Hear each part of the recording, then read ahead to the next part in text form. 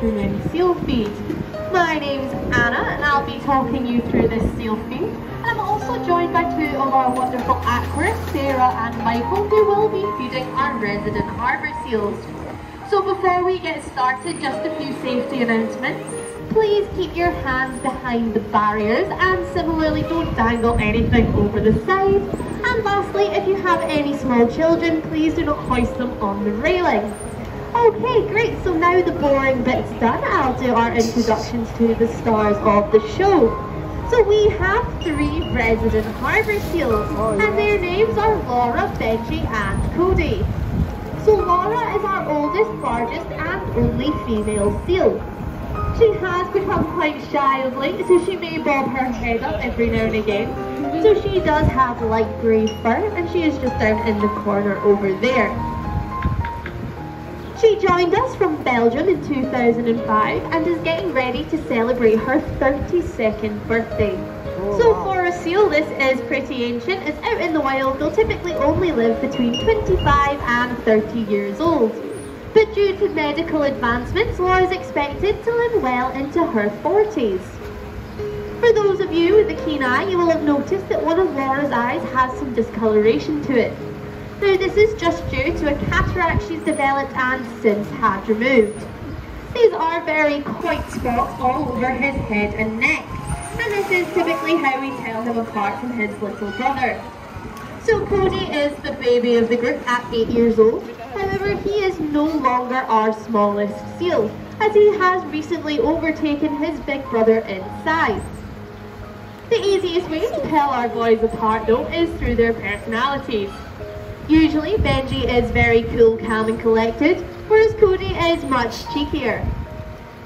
If Sarah turns her back, Cody is more than likely to try and steal a couple of fish from the bucket. You'll see that our aquarists are doing some activities with our seals this afternoon, and as much as they're fun for us to watch, they are purely for our seals' benefit.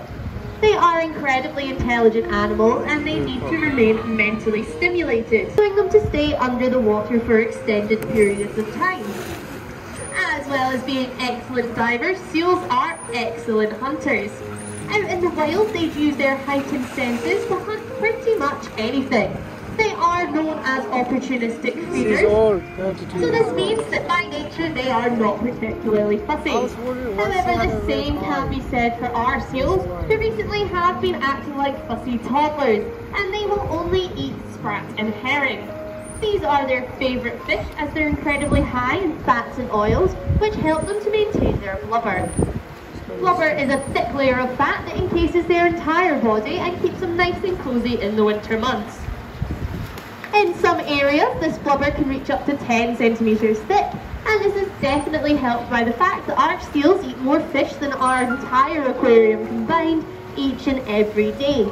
So they'll all roughly eat 3 to 5 kilos each of sprat and herring, and then slightly more in the winter just to keep that blubber nice and. In the UK, we do have two types of native seal. We have harbour seals, otherwise known as common seals, and we also have grey seals. Ironically though, grey seals are much more common than common seals.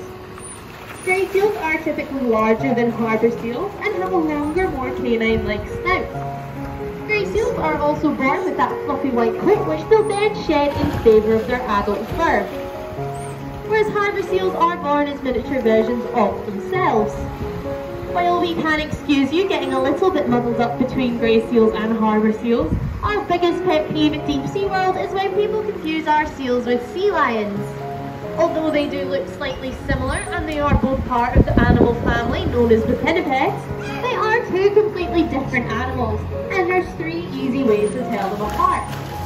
So the first of which is their ears. As you can see from our seals, they do have two small holes at the either side of their head. These are just small internal ears which get covered by a flap of skin when they dive under the water. Whereas sea lions have much larger, more external ears. If you've ever seen Shrek, sea lion ears look slightly like that, just less green. The next difference is their movement on the land. As I'm sure you've seen demonstrated by our boys there, they tend to use a shuffling motion with their pelvis. It isn't the most graceful looking movement and they do often look like giant blubbery caterpillars, as Cody is showing us there. Oh, and so is Benji. Sea lions, on the other hand, are capable of rotating their flippers and using more of a walking motion. And the final difference is their vocalization. Seals typically use snorts and grunts in order to communicate, whereas sea lions use that very loud and deep bark. If you are ever lucky enough to see seals out in the wild, we do urge you not to approach them. As much as these guys are cute, cuddly, licking water puppies there, interacting with our aquarists, the same cannot be said for wild seals. They can become incredibly dangerous when they want to be, particularly when they feel threatened. And if you ever come across an injured seal, please call the likes of the SSPCA. They are in fact a category 1 animal on the danger rating scale, which is the same level of danger as our sand tiger sharks down in the underwater tunnel. Now this comes from a bacteria in their saliva. If you get bitten by a seal, you are susceptible to contracting something called seal finger. Now this is quite a nasty infection that if left untreated can result in the loss of limbs. So take it from us and admire from afar. And lastly, our seals do face lots of threats out in the wild. Not only from predators such as sharks and orcas, but us as humans actually pose the biggest threat to our seal population. Now this is through things like hunting, as well as pollution, and most importantly, micro-pollution. So this is where fish eat small amounts of plastic.